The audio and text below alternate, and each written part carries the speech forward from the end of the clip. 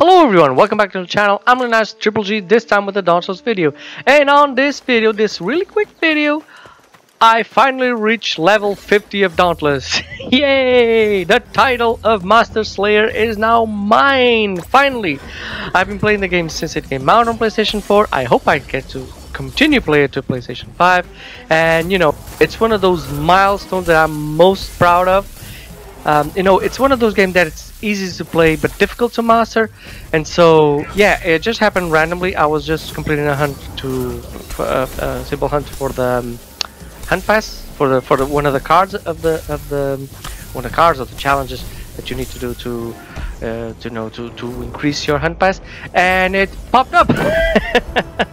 I'm most proud of it. I'm very happy. So I just wanted to share it with you.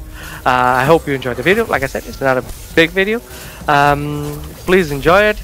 Uh, I hope you all who play Dauntless also have this uh, title and are trying to get this goal. You know, keep it up.